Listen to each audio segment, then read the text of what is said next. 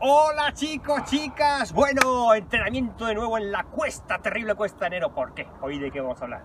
De tocar fondo, ¿cuándo se toca fondo? Hay varios motivos, lesión, mal estado anímico, quemado por carreras, pero como sabéis es una ley física, lo más importante para tocar fondo es peso.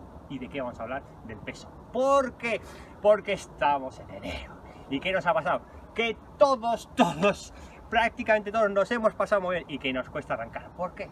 Porque como dice la física, el peso ejerce una fuerza negativa hacia el suelo, con lo que tenemos que contrarrestar con una fuerza positiva hacia arriba y nos cuesta más. En estos momentos yo llevo atrás, hemos hecho los cálculos como dos botellas de Coca-Cola de 2 litros. Os ponéis una mochila con dos botellas de Coca-Cola de 2 litros y esa será vuestra sensación actual. Bueno, es un estado lamentable, pésimo, de que año tras año dices, este año me quedo aquí atascado y no puedo volver.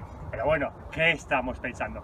Siempre decimos, yo luego cuando llega julio estoy con 6 kilos menos, entonces vamos a intentarlo, vamos a empezar otra vez.